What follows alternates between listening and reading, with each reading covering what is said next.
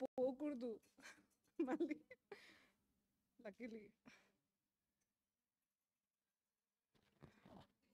లేదు రామారా స్టార్ట్ చేస్తున్నా అని చెప్పింది are we live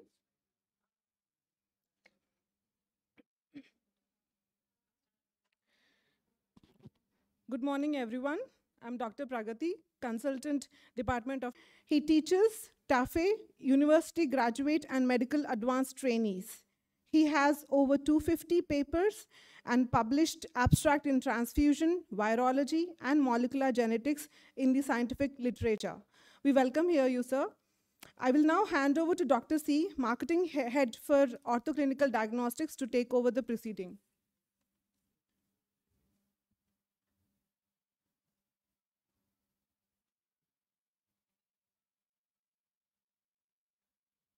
Good morning to all. Thank you, ma'am, for uh, giving us an opportunity to interact with you all in today's uh, session. So we are proud to be associated with uh, Asian Institute of Gastroenterology. So we are from Orthoclinical Diagnostics. Maybe aware that it's a more than 81 years old organization with a lot of innovative products, especially in the field of transfusion medicine, with the introduction of first anti-D, introduced by Orthoclinical Diagnostics. And there are multiple lot of innovative products uh, which are associated with the gastroenterology, like the first anti-HCV screening assays uh, was introduced by Orthoclinical Di- Diagnostics. Today, we are welcoming all for this uh, scientific session in the field of immunohematology. Because we are all aware about the importance of blood and blood components for the patients. Because during the course of surgery, it's required. And blood is a miracle medicine which cannot be manufactured from the industry. The source of blood is we all, the donors. And those blood will be made safe and then given to the patients in the Department of Transfusion Medicine. One is blood is a double-edged knife. It can give life. If it is a unsafe blood, it can also take life. So, which is very important to understand the importance of blood. So, are we able to provide the safe, compatible blood or blood components to the patients or not? When you see the blood, we all know that there are blood groups. So we know the most common blood groups are either A, B, AB, or O, and the another blood group, whether it is Rh positive or negative. But beyond that, there are various other blood groups. More than 250 blood group antigens are present on our RBC, which majorly we may not focus that. But it becomes very important, especially in case of multi-transfusion patients. Because out of these various antigens, the donor may have certain antigens, but the patients may not have that antigens. So when such a bloods are transfused, so there's an opportunity for alloimmunization. So once the alloimmunization starts, and it's becoming difficult to get the compatible blood units. So it's very important to understand the blood, the various blood group antigens, and how we can able to manage those multi-transfusion cases, especially the sickle cell anemia or thalassemia. Even in some of the patients we may have to give multiple transfusions. So today's session is designed for that to understand more about what are the blood group antigens other than whatever we commonly knows this ABO and the RH blood group. What are the various other blood group antigens present on our red blood cells, which may become sometimes leads to the alloimmunization, especially during the course of blood transfusion, as well as in case of mother getting exposed to the fetal red cells. So we have our distinguished guest speaker from Australia, Professor Robert Flower. So he will be taking us through two sessions. One is to understand more about the blood group antigens other than ABO and RH, followed by how we can able to manage those multi-transfusion cases, the clinical management, what type, how we can able to ensure the safe and compatible blood components again and again in case of multi-transfusion cases. To prevent that alloimmunization. To ensure that the transfused bloods are help, helpful for the patients. With that basic introduction, we would like to invite Professor Robert Flower to deliver his session. Welcome, Doctor.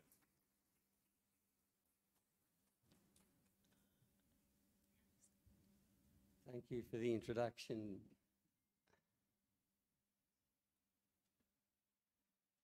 Gotta get the, the IT working first. Yay.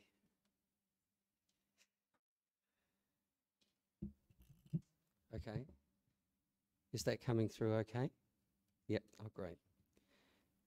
Now, um, can I make this the whole screen?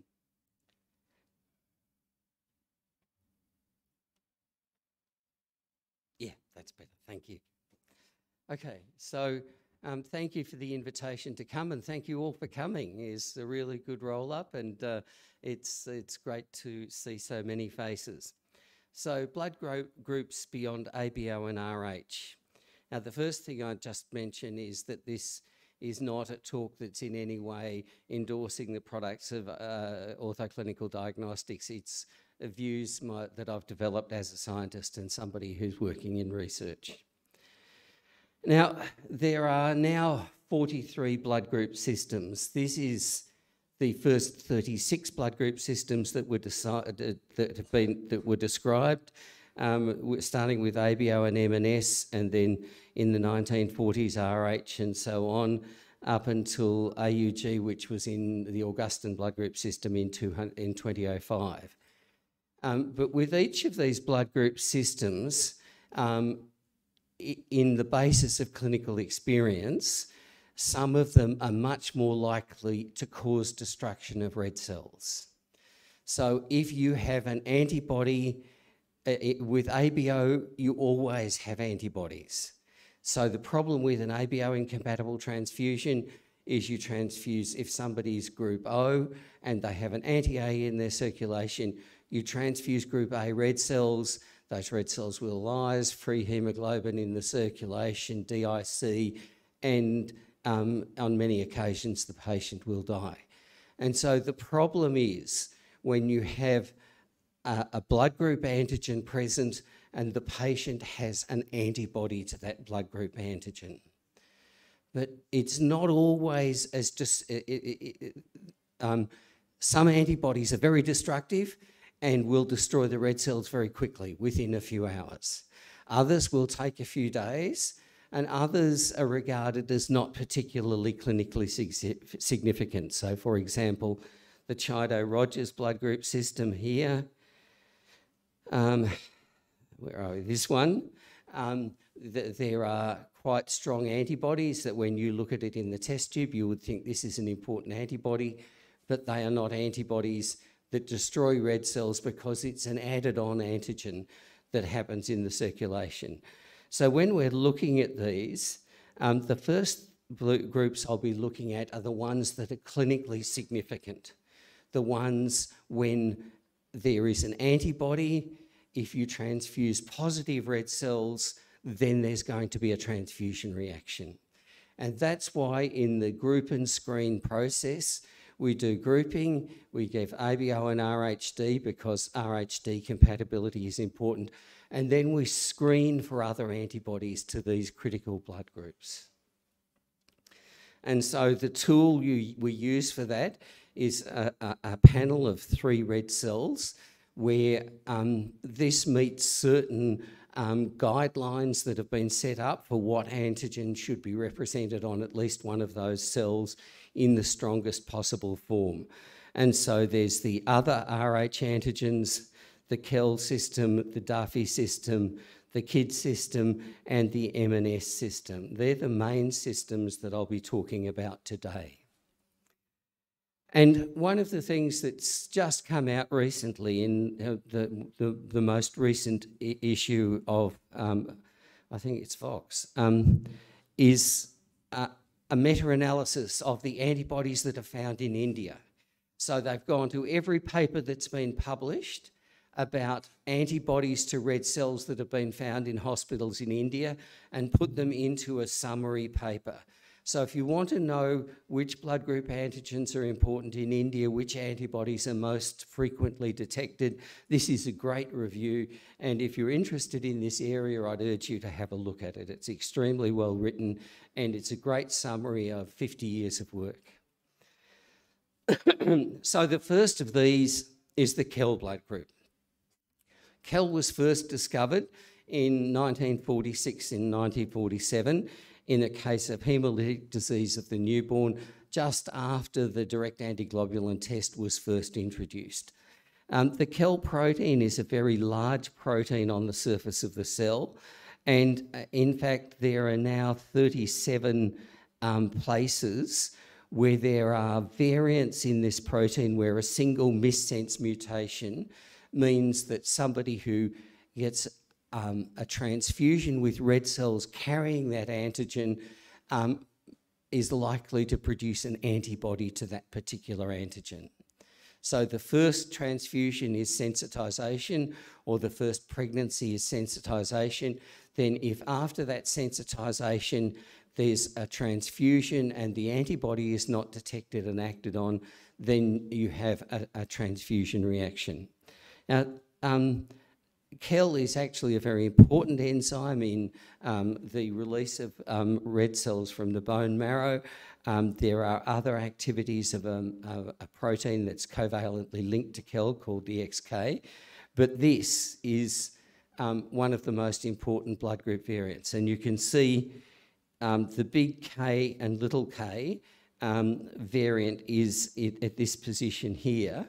So that the, uh, at the position 193, a replacement of threonine, which in um, most populations is 90 uh, is 90%, and the methionine, the big K, uh, which in Caucasians is about 10%. I think in India it's about four or five percent.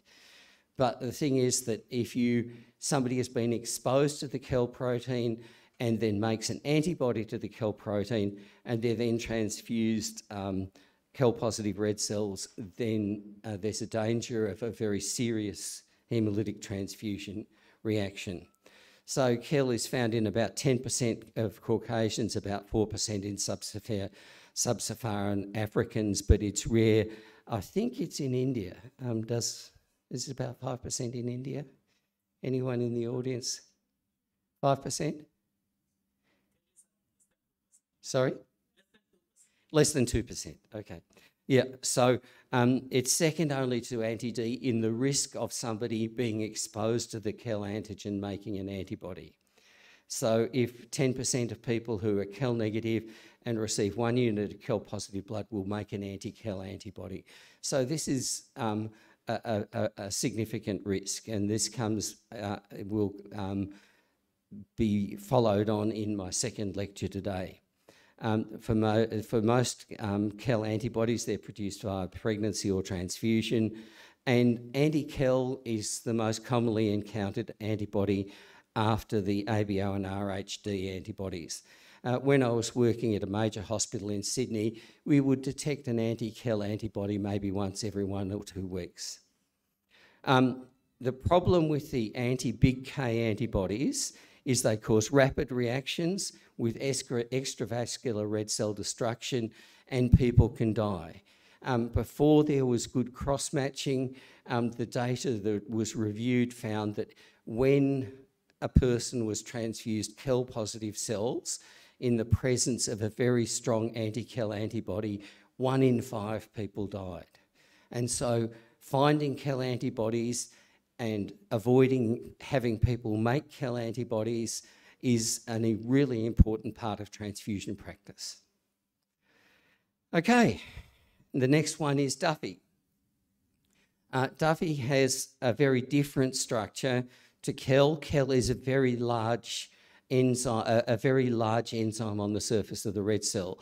This um, protein has the structure of a cytokine re receptor. And this was found in 1950, um, 1950 in the serum of a haemophiliac who'd been multiply transfused. So the first one was the anti-Duffy A, and then the anti-Duffy B was found a few years later. Um, the antigens are labile, so um, particularly with Duffy and Kidd, sometimes you detect an antibody in a patient when it first comes in, but then if you, do, if you look at it three or four days later, the antibody may have disappeared. It's, it's just um, uh, one of the things that can happen. And also, sometimes with the screening cells, the reason screening cells have a, an expiry date is after their expiry date, you can miss anti-Duffy B antibodies. So it's important, once again, when you're using the equipment and the tools you have to use them within the um, specifications of the manufacturer because if you don't, then you, you cannot find um, relevant antibodies. Um, that, uh, that this is detected by the anti, antiglobulin test and because some of the enzymes we use to modify red cells to help us detect antibodies um, cleave off the Duffy A, Duffy B, um, the area where this missense mutation is located. Um, if you treat the cells with an enzyme like papain that actually just cleaves off the last bit of this protein, then you'll lose the Duffy A and Duffy B antigens. Um, and once again, Duffy can, can bind, it can cause severe transfusion reactions and is associated with hemolytic disease of the fetus and newborn. Um, Duffy HDFN is usually treated by phototherapy. It's not um, a case for exchange transfusion, but it's certainly a clinically significant problem that needs to be monitored and managed appropriately. And Duffy phenotypes are one of those interesting um, things in immunohematology. Of all of the blood groups around the world, Duffy has the most um, striking population variation because um, in, in Caucasians, um, it's in roughly Mendelian proportions 25%, 50%, 25%. But in people from Africa, nearly 70% don't have any Duffy antigens on their red cells. And this is because um, it is the one of the receptors for Vivax malaria. And so if you don't have any Duffy antigen on your red cells, you don't have anything for the Vivax malaria to bind to, and so it's an innate resistance to malaria. And so um, in, in Africa, in um, sub-Saharan Africa, 70% of people don't have a Duffy, any Duffy protein on the surface of their cells. And this is because of a mutation in a regulator part of the gene in the GATA box, which means that, that in red cells the protein is just not, um, uh, not translated. And in East Asian people, in Chinese, Southeast Asians and so on, um, people are almost exclusively Duffy A, which is very odd because the ancestral type is Duffy B. So once again, there must have been some sort of evolutionary bottleneck event which means that in East Asian people, um, Duffy A is the most common phenotype. And so there is really striking ethnic differences in the distribution of the Duffy blood group antigens. And um, with the Duffy A negative, B negative in Caucasians, it's less than 1% in East Asian people. It doesn't seem to be found at all, but in African people, it's 70%.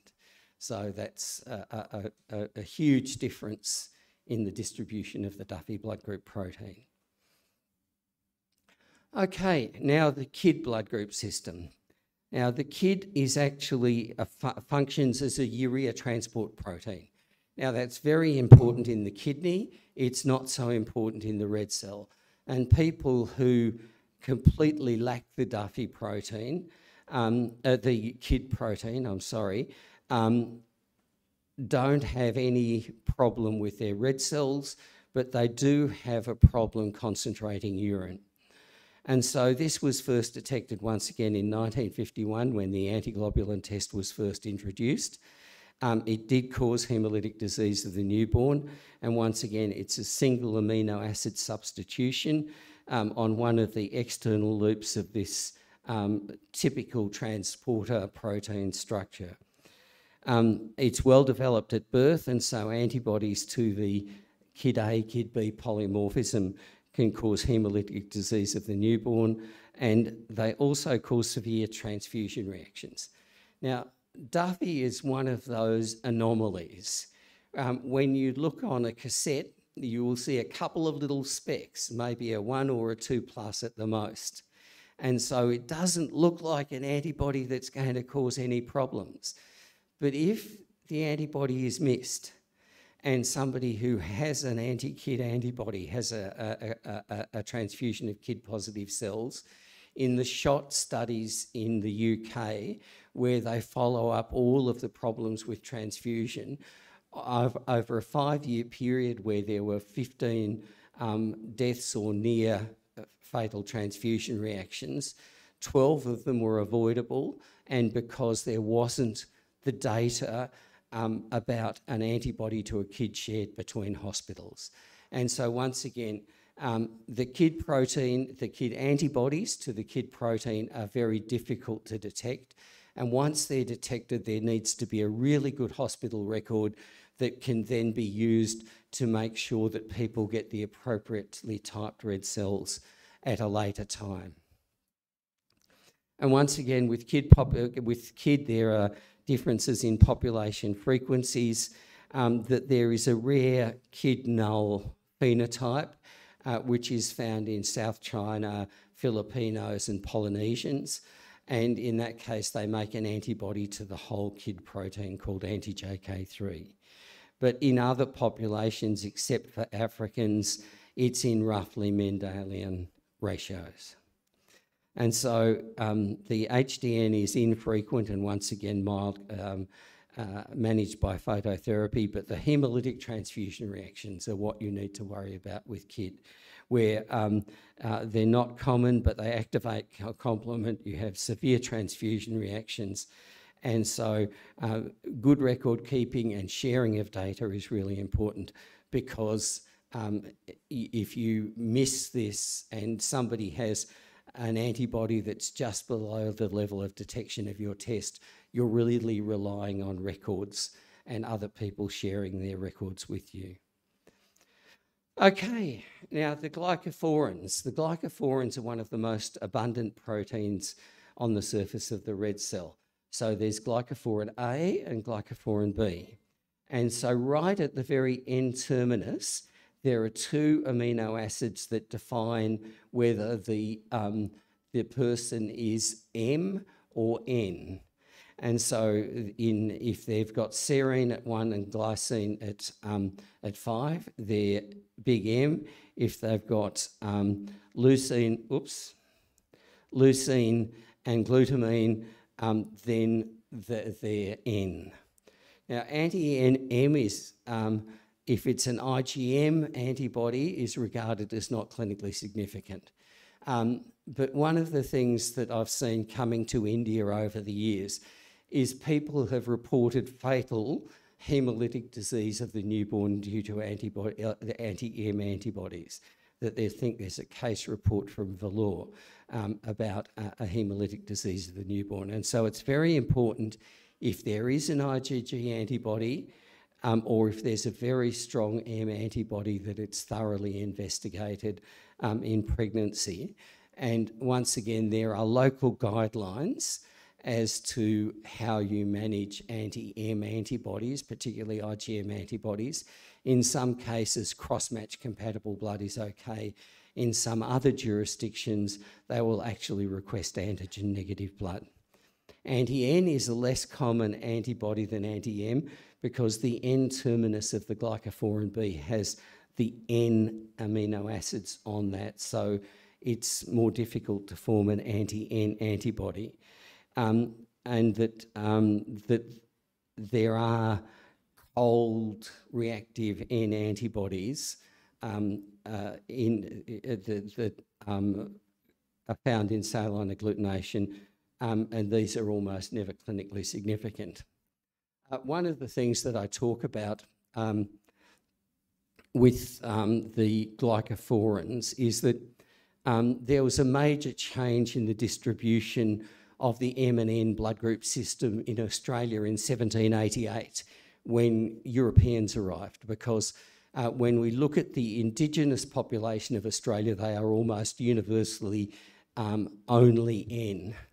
And so in Australia, when, the when Caucasians arrived and started to settle Australia, they brought the M blood group with them. And so that was the first change of the, of the M in the M blood group system.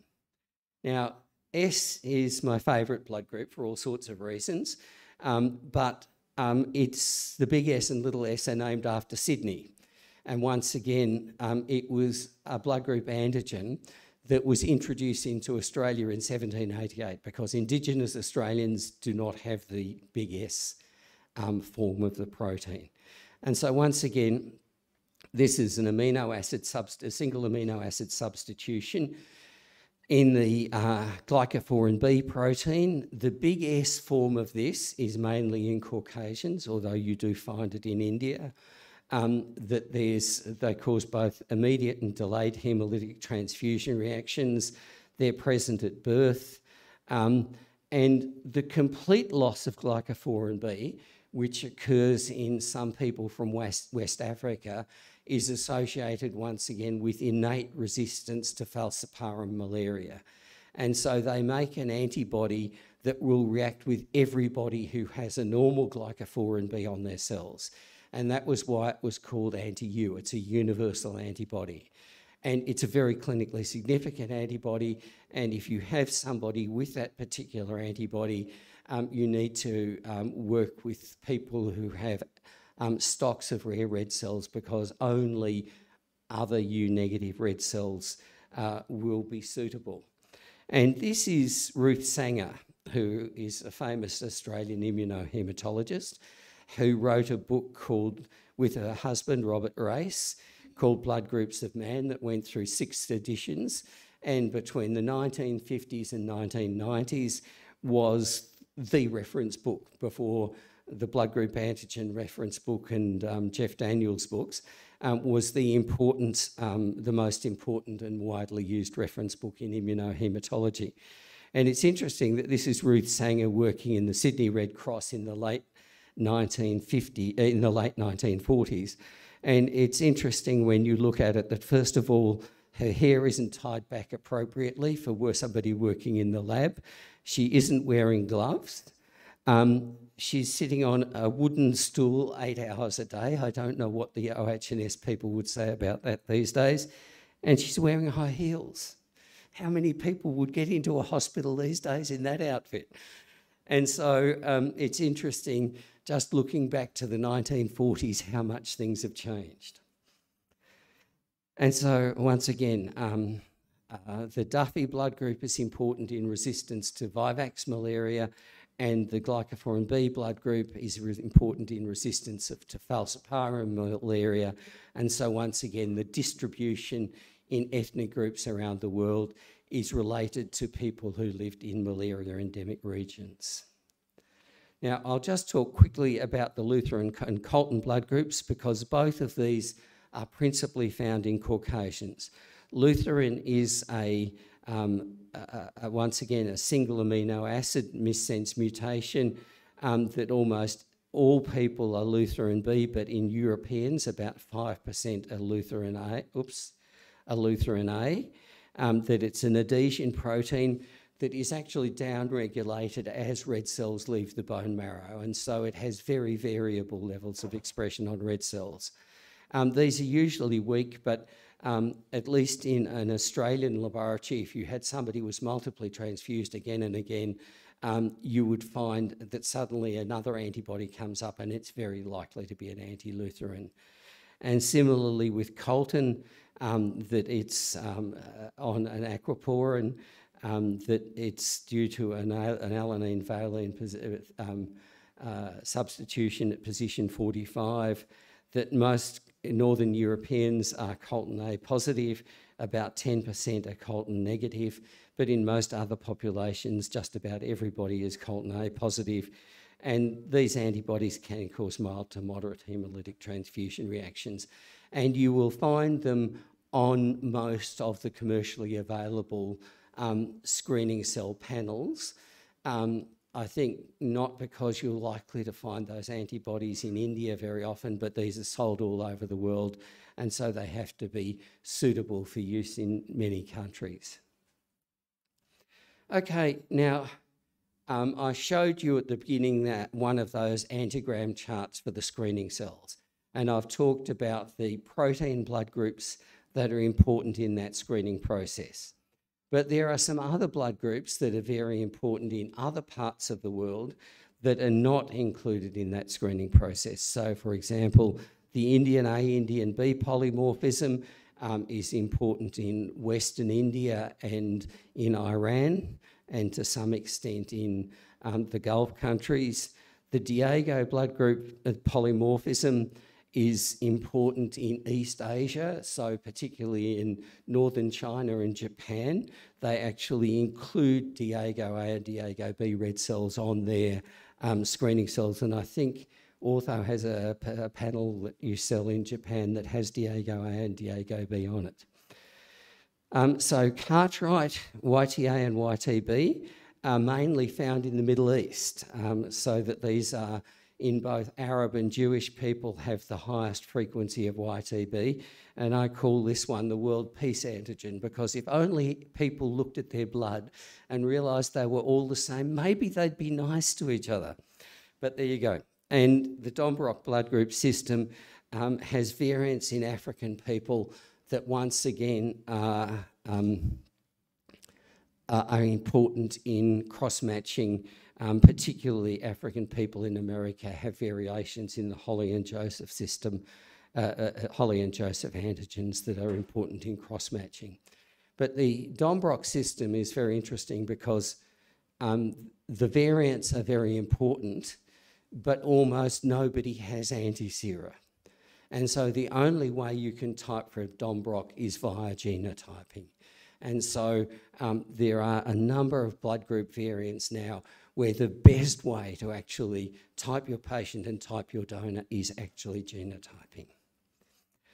So Indian is an adhesion protein. It's interesting because CD44 is found on leukocytes as well as on red cells, but the isoform that's found on red cells is actually missing two exons that, compared to the protein found on other cells.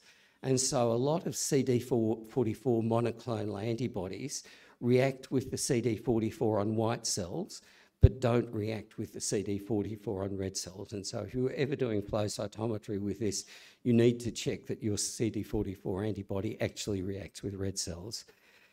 Um, so it's on chromosome 1, it's a missense mutation, proline to arginine. Um, Indian A is rare in Caucasians, about 12% in Iran, and about 55% in Pakistan and Western India. And it's interesting um, that I don't know if any of you saw the story about 18 months ago of a little girl in Florida who um, had the unusual type, who was in an Indian A homozygote, Um, she was originally from Pakistan. She was being treated for childhood cancer, and they had to search all, all over the world for people who were Indian A homozygotes to find blood that was compatible for her. We actually found um, two um, people who were Indian A homozygotes that we could bleed and send their uni- our units to uh, the United States as part of that worldwide survey. And so, um, while those antibodies are very clinically significant, it's and, and in the population here, and particularly in Iran, um, you know, that at, at 12%, um, um, one in a 100 people roughly will be Indian A homozygotes. Um, you know, that that kind of matching is really important. Um, but it's actually uh, one of those things where, once again, genotyping is really the best way to find those people who are homozygotes and find those donors who are suitable. Okay, and the Diego blood group system, when it was first discovered, um, the Diego blood group system once again has a striking ethnic distribution. That it's as high as 30% of people in South American, Indian indigenous people in South America, have the Diego A form of the Diego protein. So it's a single amino acid substitution, but surprise, not surprisingly, um, the antigen was, the variant was first found in Venezuela in a case of hemolytic disease of the newborn because the, the area where the, um, in the Diego A and Diego B polymorphism is in, um, uh, in South America, but it's also in North Asia, and as I said, in um, Japan and in, in Korea, antibodies to Diego A are not uncommon and um, are definitely clinically significant. It's interesting that once again, uh, and I'll get to this later in the talk a little bit, that in 1990 there were just two blood group antigens in the Diego system. And um, when I first wrote this talk, there were 22 blood group antigens in the system. And now I think it's up to something like 40, where there's amino acid substitutions, some of them very rare, but where those amino acid substitutions will re result in the production of an antibody that's capable of causing destruction of red cells. Okay, the three blood group systems uh, where the proteins are very unusual. They're completely outside the red cell. So you have a phosphatidylinositol um, anchor, you then have a carbohydrate linker, and the protein is completely external to the cell, sitting on the attached to the cell membrane via that carbohydrate linker. And so Cartwright, Dombrock, and Cromer um, all fall into that category. Um, so Cartwright, once again, is found in the middle of the uh, highest proportion of the um, YTB variant of this is found in um, Jewish and Arab people in the Middle East. Um, that Dombrock, once again, the most important variants, Holley and Joseph, are found in, um, people, in people from Africa and can only be detected, detected by genotyping. But the other thing, the important blood group here is the Cromer blood group system, the 14th blood group system discovered, because this is a complement regulator. And so, what can happen is that um, if this linker is not made, um, none of these proteins are attached to the surface of the red cell. And so you have no Cartwright blood group, you have no Dombrock blood group, and you have no Cromer blood group. And so in that situation, the loss of the Cartwright and Dombrock, Cartwright's an enzyme um, that uh, uh, Dombrock, I don't know the function of actually, I'll have to find that out. But Cromer is really important because it's a complement regulator. And so, if people lack that protein, they lack the ability to turn off complement when it attaches to the red cells. And so, in this, in this case, um, there's uh, people can have paroxysmal nocturnal hemoglobinuria because of a loss of this protein, and they will actually be missing all of these blood group antigens that are attached via the um, carbohydrate linker. And so, as I said, these are different proteins. They're not integral transmembrane proteins, they're completely external to the cell. Now, VEL um, is a protein um, a, a, a, a blood group, a protein where there's blood group, it's a single blood group antigen.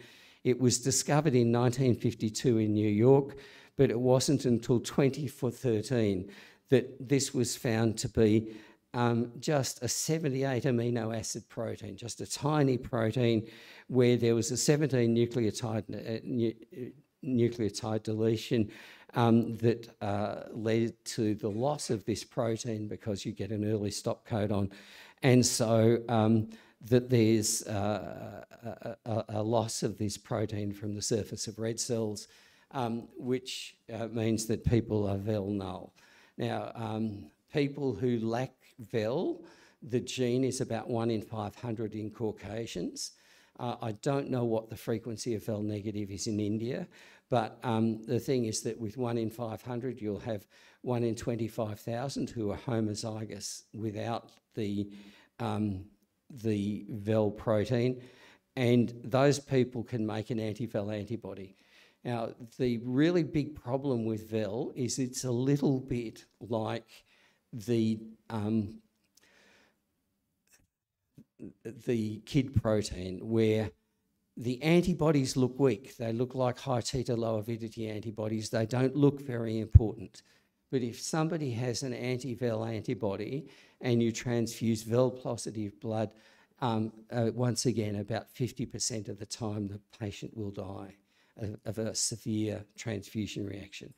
And so the importance with the VEL blood group system is if you have something that's pan-reactive, that um, you don't know what it is and it looks a bit all over the place, some are stronger, some are weaker, it could be an anti-VEL. And in that case, you really need to know because if you just say, oh, this is an auto and transfuse, which some people do, you can kill the patient. And so once again, you need to have access to a good reference laboratory and to be able to um, work out that this is actually an anti-VEL antibody, not just a nondescript high titer low avidity antibody that you can just ignore. And the key is that with this, it's pan-reactive, it's a bit variable in its reactions, but the auto is always negative. Okay, now, um, uh, uh, we were saying before that there were, um, in 1997, there were 23 blood group systems. Um, by about 2012, it was up to 30. Um, there are now 43 blood group systems. And it's interesting that one of them was uh, the recent ones um, is that the, um, the PEL blood group system uh, was found in four um, unrelated families, that it's missing a membrane protein, the ABCC4 transporter, and once again that there was a large homozygous deletion of this gene.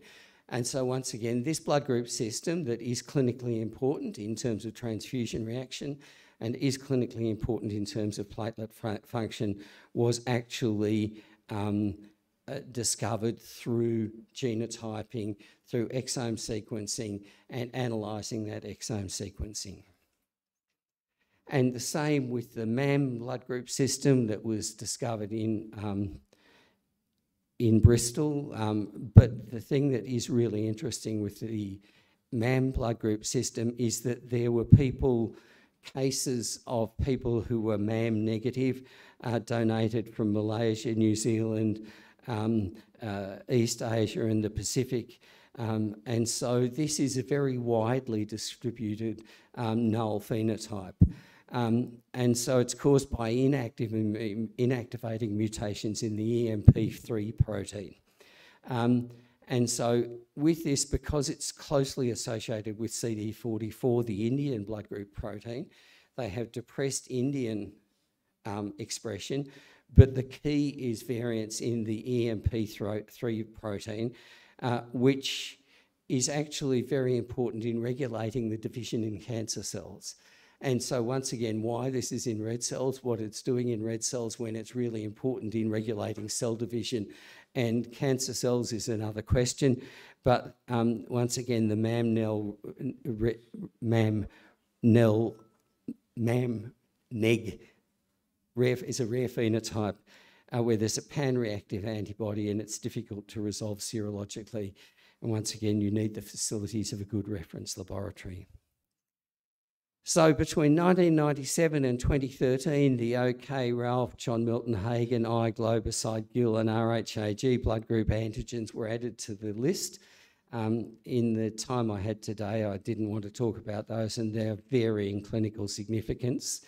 Then since 2013, there's been the Forssman, the Junior, Lanvell, CD59, Augustine, Kanno, the prion protein is, is actually found on red cells and that encodes the Kanno blood group system and that is actually found only in South and East Asia. Um, that there's the SID blood group which has been known for a long time but it, the loss of it was shown that it was the loss of a transferase. Um, this, the CTL2 um, a, a blood group system, um, the PEL-MAM um, and also the M and ABCC1 make the 43 blood group systems. So there's 43 blood group systems and over 340 blood group antigens now. And so one of the things that I'd say is for people who think red cell serology is a dead field where it was all discovered years ago and there's nothing exciting happening, um, there's been a huge change in the last 20 years that the number of low frequency antigens where we didn't know what they were but we knew there was an antibody has gone down by almost 50%. The number of blood group systems has almost doubled and the number of high frequency antigens where these are antigens where there's a pan-reactive antibody and we didn't know what it is have actually gone down by half as well which is great because that means that with molecular tools you could actually analyse those. And so the, the most recent ones were the ABCC1 and the, uh, and the M blood group system.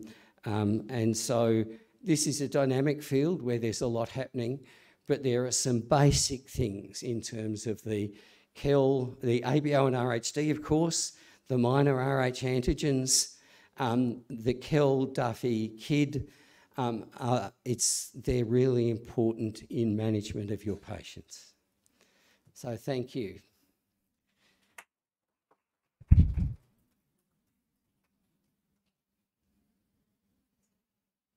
Any questions?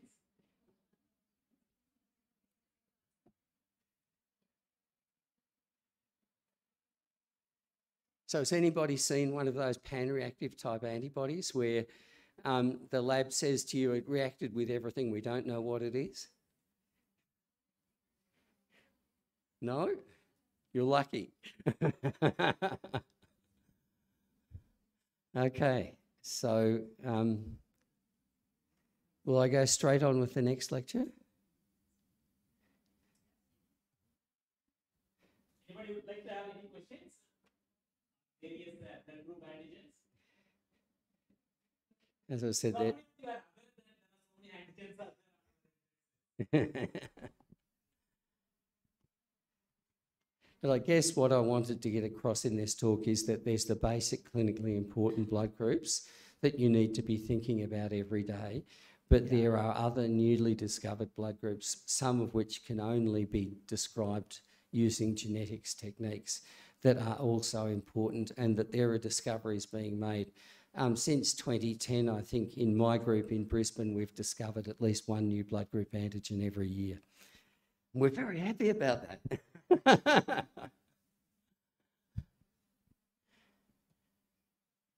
Okay, so if there is no questions, we will move to the next session. Because this many antigens are there, we know mainly whether it's a A group, P group, AB or O, D positive or negative. So when you are giving this blood to the patients, what will happen? Thank you. Because blood is also so the liquid organ. Like how we do liver transplant. I think everybody aware about the liver transplant in the AIG. So what are the precautions we take when you are going for the liver transplant cases? Because that is also one of the organ. Similarly, blood is also it's a liquid organ. It also has a lot of antigens. So when you are doing either transplant or here transfusion, there can be a lot of complications. The so-called alloimmunization, developing antibodies, which can affect the transfused red, blood cells. Yeah. Do you want to know about that more? And how to manage that? So we'll go to the next session on how to manage this multi-transfusion cases that. Over to Okay, Professor thank you, Flower. Dr. Shamraj. Okay, now, um, I must add with this one that um, in India you have many sickle cell patients and you have many um, sickle and many thalassemia patients. Um, in Australia, we have very few, and most of them are African or South Asian immigrants. So that um, this is a much more serious problem in India than it is in Australia. And so, once again, the usual disclosures. Um, so, I'll be just be talking a tiny bit about hemoglobin variants and then talking about how we set up um, a framework for managing the transfusion uh, in Australia. So, um, with hemoglobin, um, there's switching of the chains that are associated with the hemoglobin during development because fetal hemoglobin has a stronger affinity from oxygen, for oxygen and can draw it off the mother's red cells. Um, but that then uh, becomes adult hemoglobin with switching of the um, of the chains associated with the um, hemoglobin gene as there's as you um, switch to adult hemoglobin. And so, um, one of the things that can happen is if there's variance in the um, in the hemoglobin genes, in the in the uh, genes that code for the um, these chains that are associated with the heme molecule, um, there can be problems with um, carrying hemoglobin, with chronic anemia, and um, that um, and in sickle cell disease when people go into sickle cell crisis. And so, um, once again, like so many diseases, there's a there's a, a, a, continuum. So you can have non-transfusion dependent thalassemia or transfusion dependent thalassemias. And so I'll be thinking in this lecture about the transfusion dependent thalassemias. Now, um, I did mention before um, uh, that there had been a really good review written of the uh, that came out earlier this year of the um, rates of detection of antibodies in patients in India. And this meta-analysis includes surveys of both thalassemia and sickle cell patients. And so, as I said, it's a very interesting paper. And the most common antibodies identified were anti-E, the, the big E in the uh, RH system, um, followed by anti-little c, which is once again in the RH system um, and is an important clinically significant antibody. Um, but there were also significant numbers of antibodies to Kell, Duffy A, and Kidd A, as well as anti-M antibodies. And so, in this particular um, context, given the number of these patients who make antibodies, um, it's well, it would be good to consider little big E and little c, as well as the minor blood group antigen matched red cell units for patients requiring chronic transfusion, as this um, will reduce the rate of product of alloimmunisation and then having to um, the complicated searching for red cells. And so in Australia, we have a number of um, guidelines that have been produced by the national government guiding transfusion practice in various areas. And so there's a generic question, there's a systematic review, um, then a series of uh, six clinical reference um, guidelines are produced. And these include formal recommendations where there's very strong evidence and practice points where there's a there's well um, a, a opinion based on experience, but there's no strong um, evidence. then there's public consultation and feedback, and then a final document has been released. There are also guidelines that where um, people have gone through a similar uh, process in the USA and the UK, and I'll talk about those guidelines a little bit later in the talk. And so um, the clinical reference groups develop recommendations where there's sufficient evidence. So for a grade, um, grade A recommendation, there's a body of evidence that can be trusted to guide practice. Um, uh, in most, then practice in most situation, um, some support for the recommendations or grade B is the body of, of, evidence is weak and recommendations can be applied with caution. So um, when you're looking at the guidance from the clinical practice guidelines in Australia, there's a, guideline, a guide as to this is something that is really strongly supported and you know you should really be doing this to saying well this is a lot of people's opinion and they seem to have done okay but um, there's not really the strong evidence that you would like. And so um, the, the management of um, multi-transfused patients, particularly sickle cell patients and um, thalassemia patients is covered in Patient Blood Management Guidelines Module 3, Medical. And um, there's a link here um, to the website. so these are available on the internet if you um, type in patient blood management guidelines, you would just about be certain to get this somewhere in your Google search. Um, but if you want, um, Dr. C, can, Dr. C can send you a copy of the link if that would be helpful. But the other thing is that these guidelines at the moment are actually 10 years old. And as I've said, that um, uh, transfusion is moving all the time. There are new blood group antigens, there's more evidence that can guide clinical practice. And so these actually are being rewritten at the moment. So the, the, what I'll be talking about today is guidelines that are actually 10 years old and where in view of more recent clinical experience, um, these um, recommendations will be actually be amended, as I said, in terms of the um, recent clinical practice and recent scientific literature.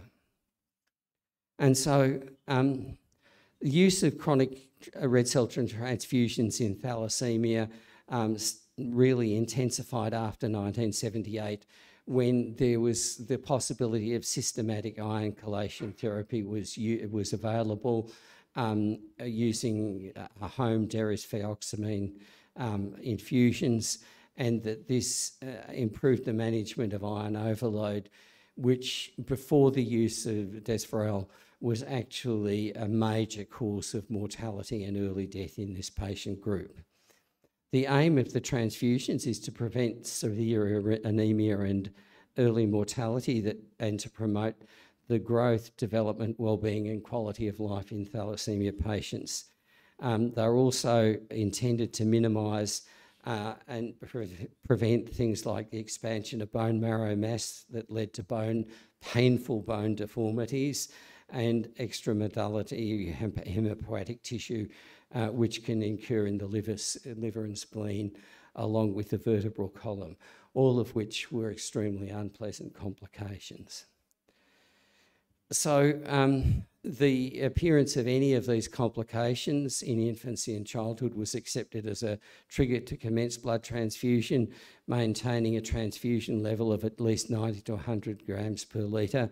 Um, and this was adopted empirically after trials. You know, I just said what works, what um, avoids these complications, and it was just a trial and error process of this seems about right and it's sort of in the similar kind of range to the physiological levels. So intuitively, um, empirically it worked and intuitively it sounded about the right kind of range.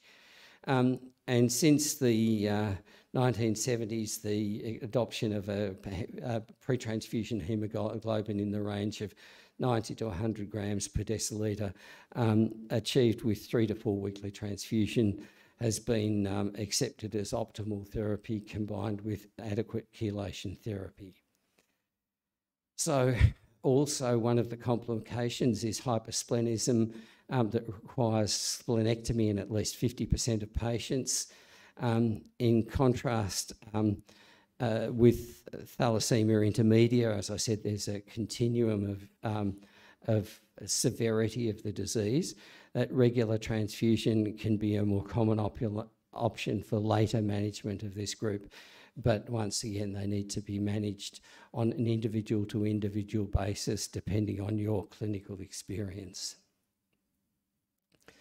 Um, so the Australian guidelines that were mentioned in the book, um, and as I said, that are under review at the moment, um, is uh, lifelong regular blood transfusions every two to five weeks um, to um, maintain the uh, hemoglobin level at 90 to 105 grams per deciliter.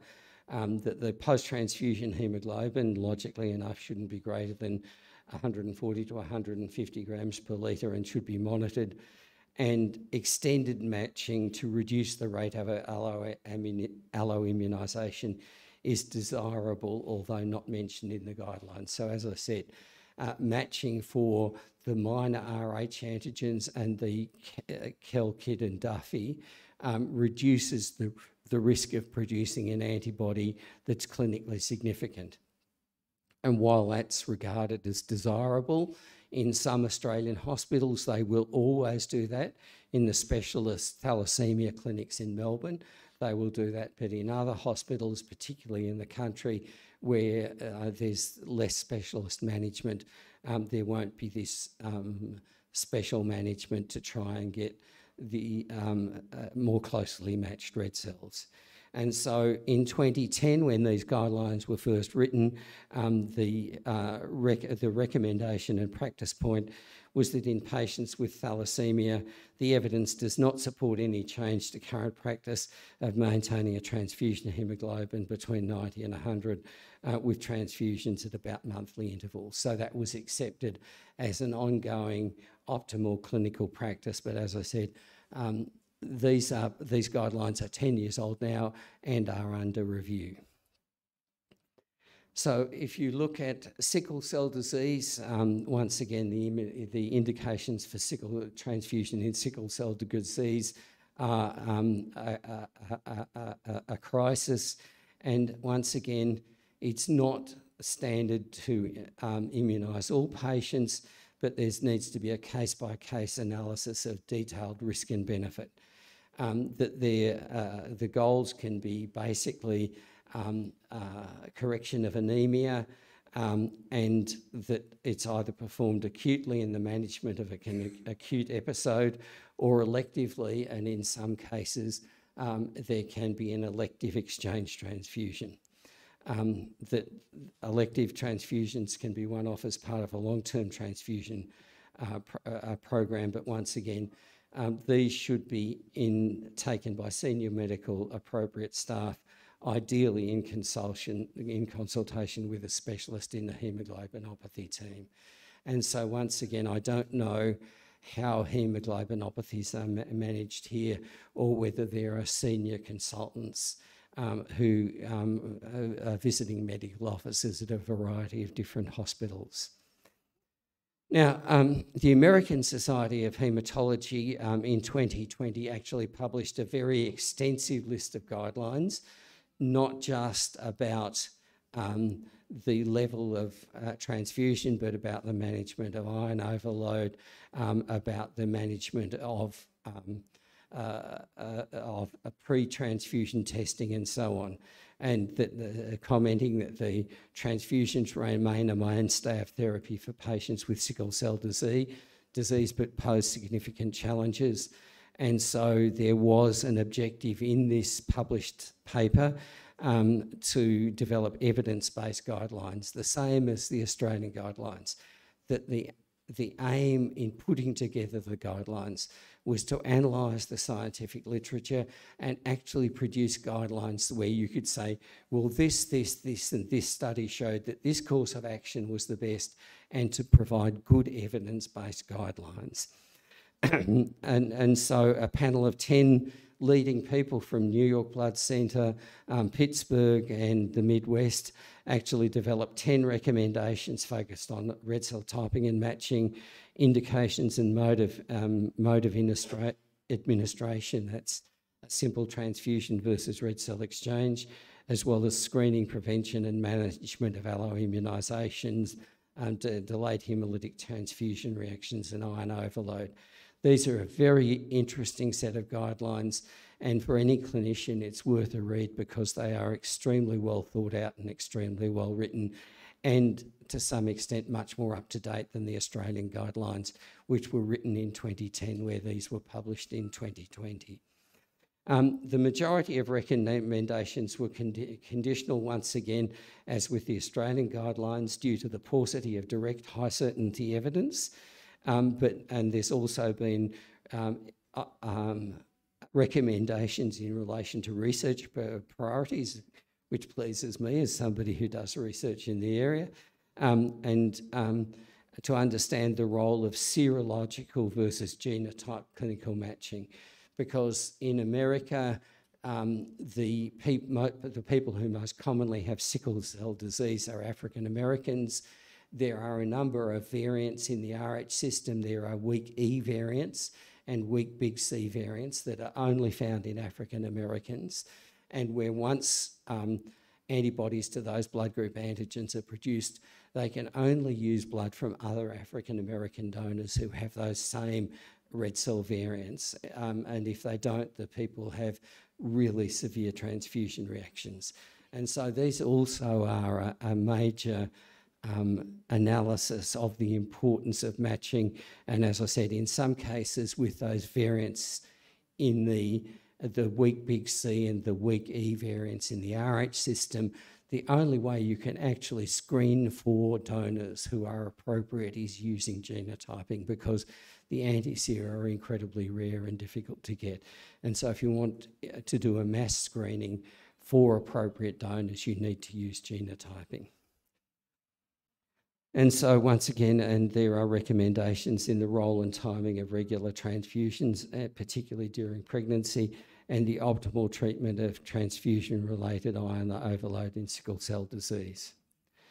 And so once again, um, as with the previous lecture about blood group antigens, one of the things that is really useful in this kind of context, um, because I'm not sure whether you have a set of national guidelines in India like we do in Australia, or an expert panel that's put together guidelines for India the way they have in the States.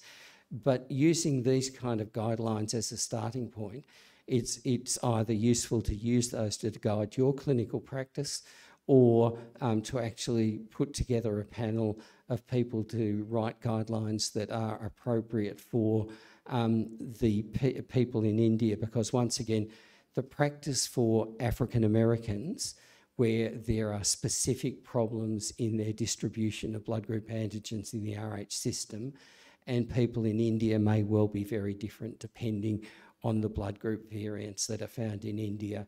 And looking at that review um, that was published earlier this year, the V um, HRB and capital HRB, which are the troublesome variants in African Americans, there weren't any antibodies to those identified. Now, whether that's because they weren't looked for or because the tools haven't been here or whether because they're actually only, only found in people in Africa, I don't know that we have the answer to that yet.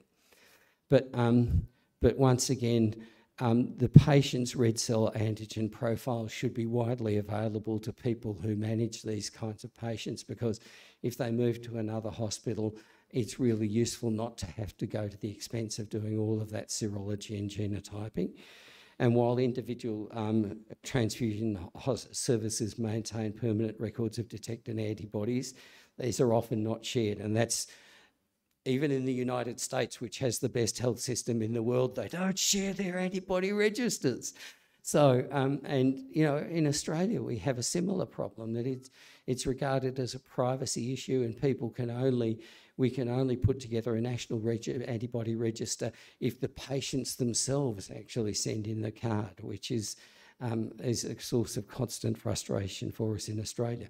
Where in New Zealand, they have a single medical record number and they have a fantastic antibody register. So, and in, in the UK, because SHOT report after SHOT report has said sharing this data is really important, they have a national register as well. And so, once again, particularly for clinics that manage these patients, it's really important to be able to share the data in terms of the antibodies that the patient has. This is a matter of good clinical care and actually matching the best blood for those patients when they actually need, um, a, a, you know, in a crisis and need a transfusion.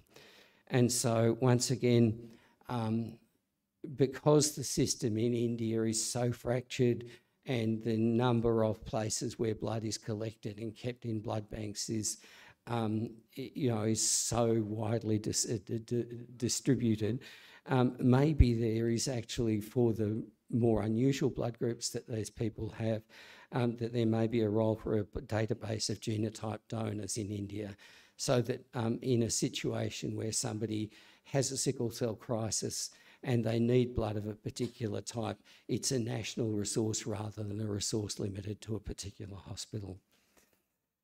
And so, once again, historically, um, prophylactic antigen matching of matching for those um, uh, the RH system D um, and the minor RH antigens, Duffy Kidd at least, um, was regarded as um, important in sickle cell disease, but not so much in thalassemia.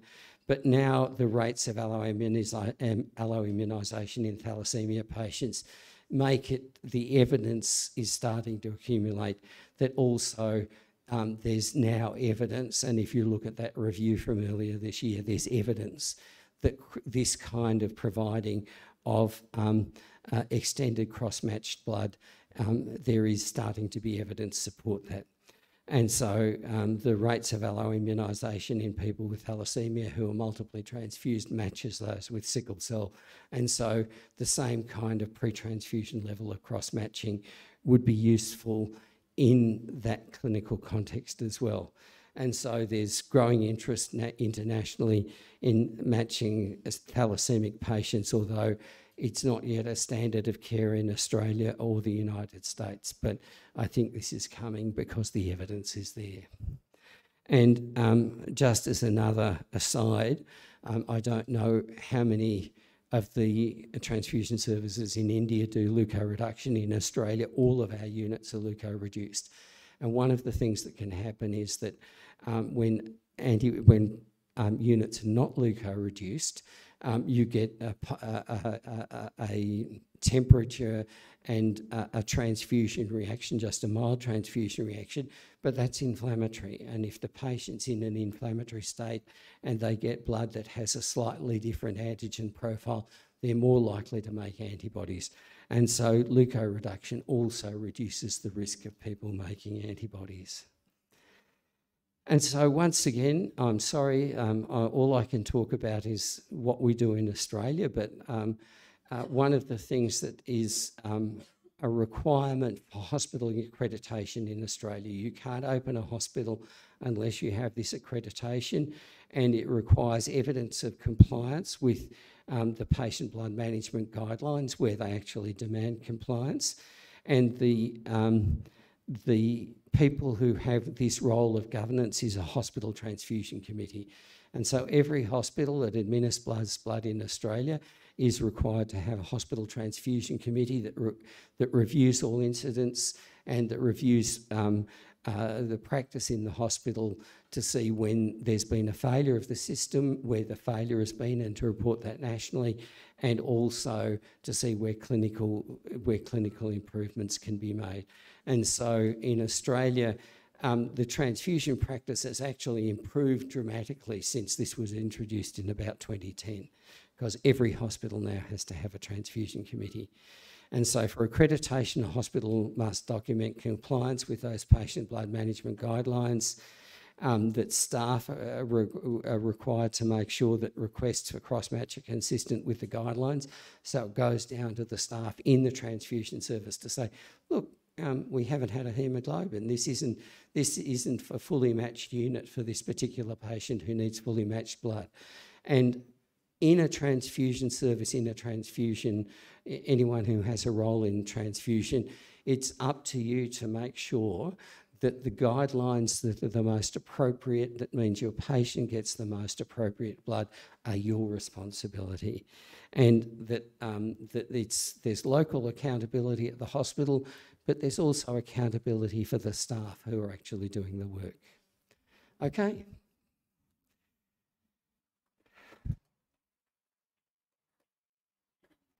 I'm going to get lots of questions about this. I can feel it in my bones. Thank you, Professor Flower. No, no, lots of questions. Yeah, there are few questions online. All right, okay. So we have a questions from uh, Professor Shami from KMC Manipal. Yes.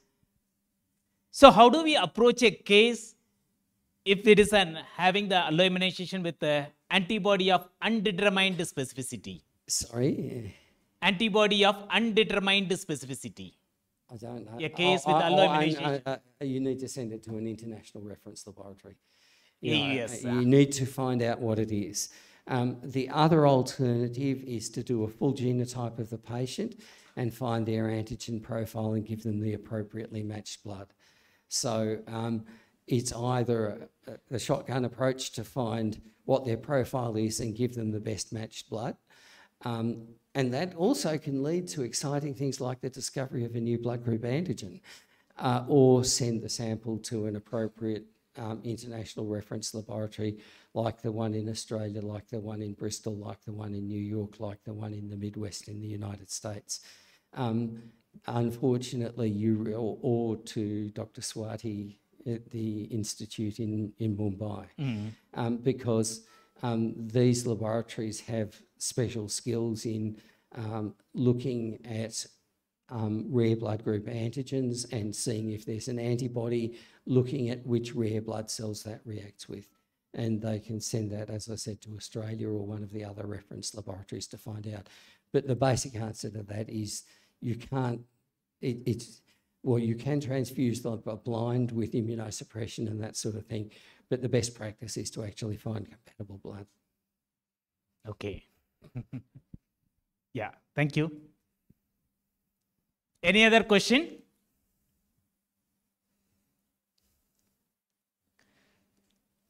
And So what we understand that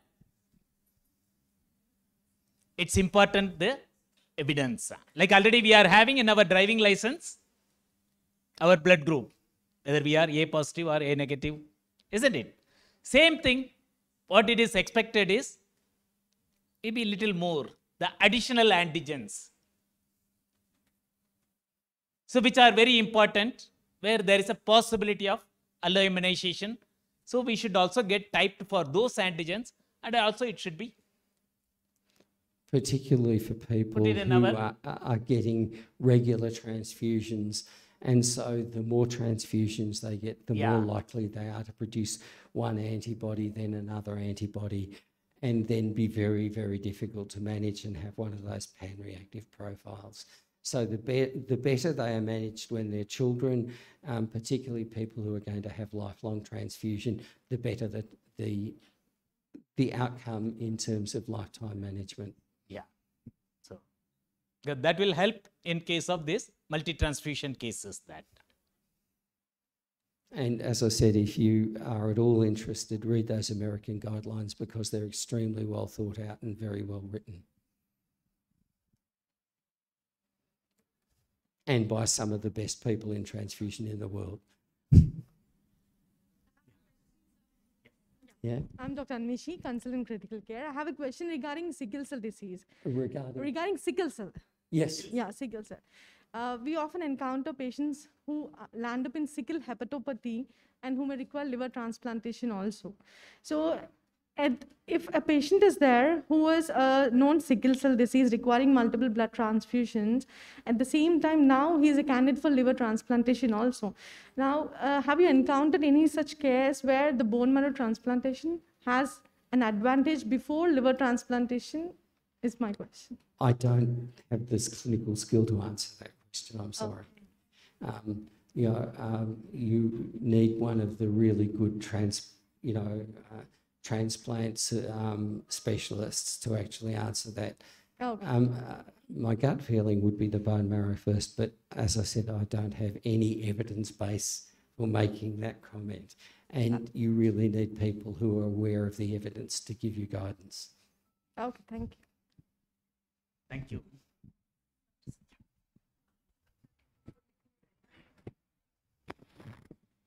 My question is to ortho team. Yes. Uh, we don't do uh, extended phenotyping in our uh, laboratory here Yes. till now. Uh, plus, uh, we come across uh, transfusion reactions because of minor blood group uh, very uh, less frequently in Yes. clinical practice.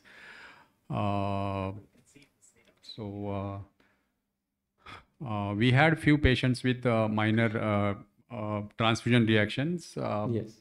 and uh, we solve that problem based on our uh, uh, routine uh, uh, Coombs cross match and yes. uh, this thing. So uh, uh, my question is to ortho team: uh, when you uh, provide us a kit to do uh, extended phenotyping, do you have Indian antigens or you are using the uh, universal antigens like European system or uh, American system for that, uh, say, three cell type or 11 cell types? Yeah, Yeah, currently we are having that general, which are the major antigens like uh, RH, Kell, Kidd, Duffy, MNS, P, Lewis. So Indiana antigen is still not yet uh, like uh, to do it on the laboratory phase. This one, those type of phenotyping antibodies are not yet available. That time. still it is in the characterization stage. That so maybe in future we will be able to get those uh, antibodies, and then we can use it for that. But it's certainly the case that you can get genotyping done to actually identify donors who may be negative. Yeah. Um, but I think also this comes down to the point of actually having local guidelines because um, it's all very well looking at the evidence in America, but the sickle cell patients in America are African Americans who do produce a lot of antibodies, where the burden of that kind of complication may be much less in India, and guidelines that are appropriate for India may be different to guidelines that are appropriate for the United States. Thank you. Some more questions? Yeah. Can you bring that?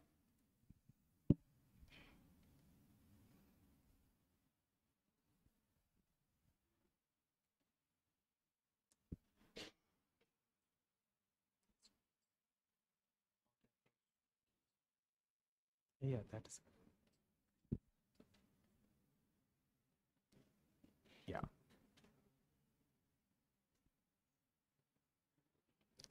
So there's another question.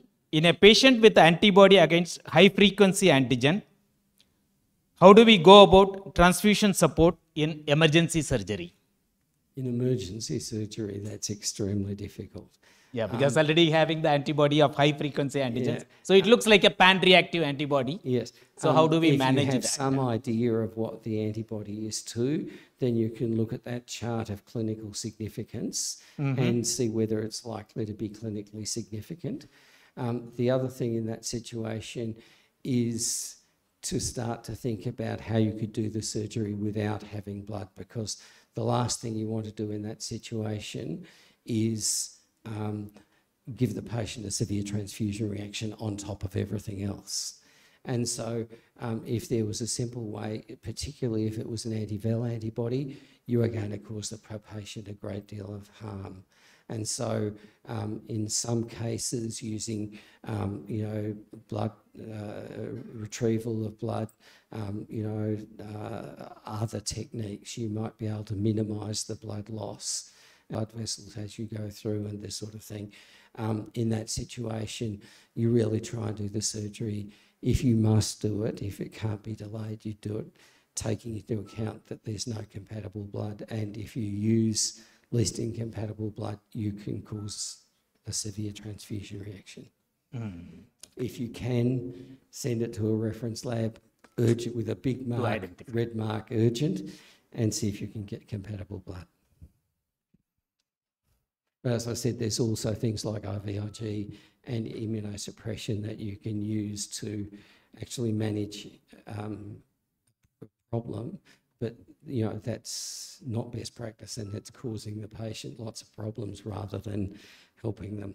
Having, as I said, having emergency surgery and a transfusion reaction and everything else is not ideal for a, a very sick patient. Okay.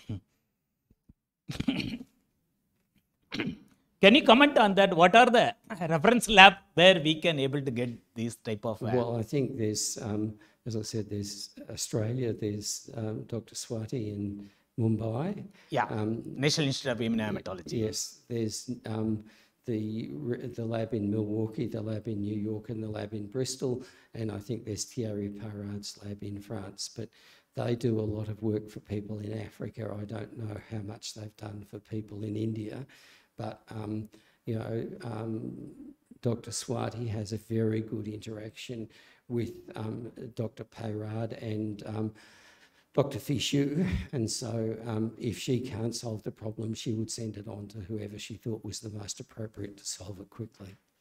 Okay, okay, thank you. Yeah, there's another question. Want to have the comments on making orachical phenotyping mandatory for sickle cell anemia cases or thalassemic patients, like all multi-transfusion cases by the government guidelines. Yes, that, that would be, you know, then every, everybody is in no doubt about what best practice is. Yeah, Yeah, so, thank you. okay. Okay, well, thank you, everybody. I hope that's been useful and um, informative. I think my email was on the first uh, set of slides. So if you have any further questions, don't he- hesitate to email me and I'll do the best I can to answer them or to send your email to- on to somebody I know who has the expertise to answer it. Thank you. So, hand over to uh, ma'am. Doctor, thank you. Uh, Good, uh, good morning, everyone. Uh, I'm Dr. Balasaheb. I'm, I work as a hematologist in AIG Hospital. Uh, first of all, I would like to thank uh, AIG Hospital uh, team and uh, our chairman, Dr. Nageshwar, and our, uh, our director, Dr. G.V. Rao, sir, for uh, letting us organize uh, this particular uh, event. Thank you, uh, Dr. Flower. It was nice lecture. First lecture was quite confusing. I'm being in hematology for long, uh, seven, eight years. I still don't understand all the blood groups and uh, implications of it. So it was a nice presentation. Thank you very much for uh, such a elaborate uh, talk. Uh, thank you, Ortho team, for uh, supporting this event. We would look forward to have our own extended phenotyping platform here, and Dr. Pragati is on working it. Thank you, uh, Dr. Pragati uh, and uh, Blood Bank team for organizing uh, such a nice lecture uh, series or such a nice talks. Thank you very much for. Uh, thank you everyone for attending in large numbers. I hope it was useful. Thank you very much.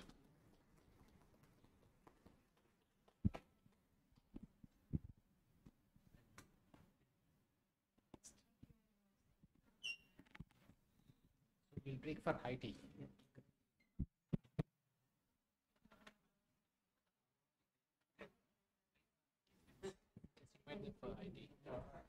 Uh, guys, please uh, join us for high tea, please. Faculty lounge.